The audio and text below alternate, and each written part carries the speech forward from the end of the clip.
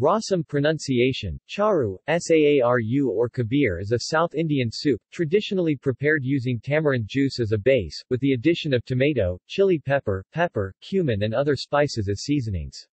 Steamed lentils can be added along with any preferred vegetables. Nowadays, all the seasonings required are combined and ground beforehand into rasam powder, which is available commercially.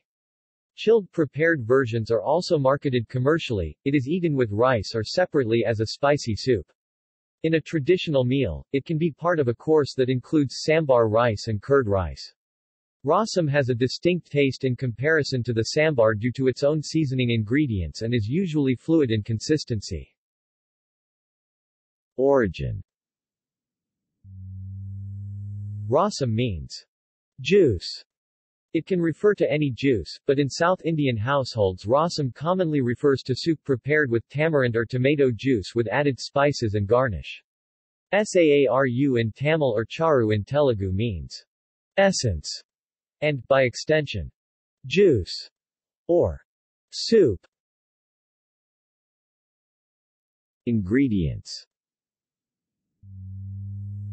Rasam is prepared mainly with tamarind or tomato as the base along with cumin, black pepper and dry chili powder as flavoring ingredients. All of these ingredients are abundant in South India.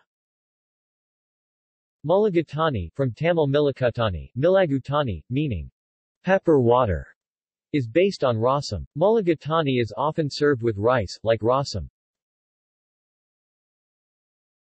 Types Different kinds of rasam are listed below with its main ingredients in the Tamil language. See also.